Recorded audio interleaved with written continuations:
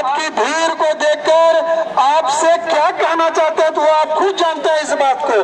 फिर भी, लेकिन यदि मंच चल रहा हो और कोई आयत को सम्मान दिया जाता है। उस तरह बीच में नहीं करना चाहिए। ये आपसे निवेदन कर रहे हैं। और यह निवेदन आप स्वीकार कीजिएगा। ये आपसे हम इसलिए कह रहे हैं क्योंकि आप विद्वान हैं।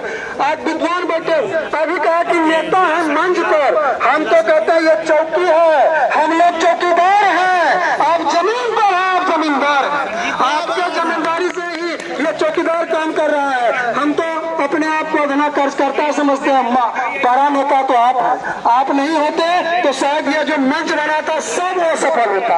आपके उपस्थिति ने ये साबित कर दिया कि हम कुछ भी करने के लिए तैयार हैं और हमारी लड़ाई मजबूती के साथ लड़ी जाएगी और जो वो पूरी होगी आपके अंदर में वो शक्ति है, जब भी आपने पटना के धरती पर अपने शक्ति दिखाई है, आप खाली हाथ नहीं लौटे हैं। आपको मिला है और भरपूर मिला है। इस बार भी मिलेगा।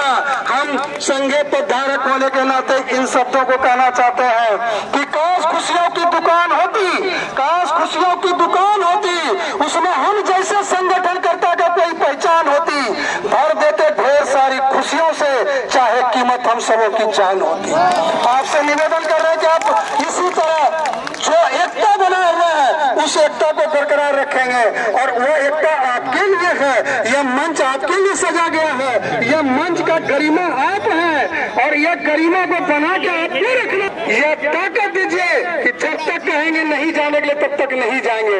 ऐसा नहीं कि आज का भीड़ आप दिखा दिए, और यदि सकारात्मक वार्ता नहीं हुई और आप घर जाने के लिए तैयार हो गए तो फिर इतने जो संगठन करता है वो अपने आप में हतोत्साहित हो जाते हैं आप रहते हैं तो शक्ति मिलता है। आपके शक्ति के अनुसार सरकार को हम चुनौती दे सकते हैं। और चुनौती वैसा दिए हैं कि जो जो आपने मांगा है, इस धरती ने वो दिया है और आगे भी आपको देगा। आप निश्चित लिख लीजिए इस बात को।